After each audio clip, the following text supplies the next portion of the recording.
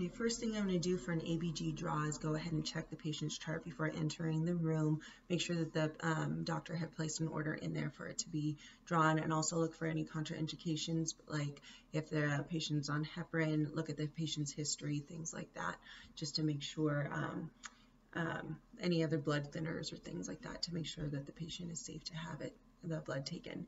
So um, I'll go ahead and enter the patient's room, um, introduce myself. I'm Kate with Respiratory, um, and I'm here to take a blood gas sample from you. I'm here to take an arterial blood sample from you. It's a little bit different than the um, when the nurses draw blood, they take it from the veins. This one's going to be from your artery. So I just need to look at your wrist here to see if you have good collateral return. So we could go ahead and take um, a sample from your radial artery. I'll set the patient up. Um, once they say that's okay, I'll wash my hands, use standard precautions, set the patient up, um, and you do the Allen's test to make sure if they have good collateral return. Once I ensure that they do, then I'll put a, a rolled towel underneath the wrist of the patient. Um, I'm going to take the patient's temperature, write out their um, label here, name, um, date, the temperature, room number, etc. Go ahead and place it on my biohazard bag. I went ahead and brought in an ABG kit with me, so I had all my supplies and ready to go.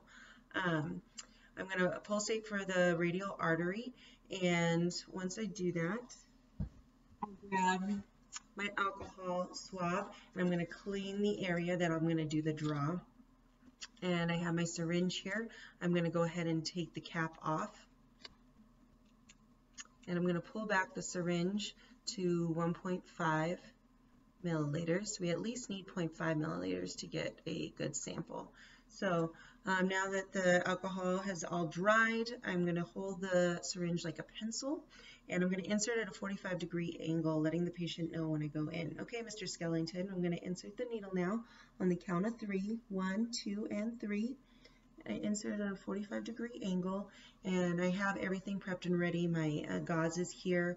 Once it fills up all the way, I will go ahead and uh, take the needle out, applying pressure for three to five minutes. When I take the needle out, I'll make sure that the needle stays away from me. I'm going to cork the needle. And I'm going to bandage the patient here. Now I'm going to go ahead and cap the needle. Look at my sample, making sure that there's no air bubbles. Tap it if there is. Make sure it's all out and I have my biohazard bag with the label already on it. I'm going to send it to lab. Make sure that the patient is comfortable. Thank him for allowing me to get that sample from him and um, go ahead and deglove, wash my hands, and exit the room and send the sample off to lab. All right.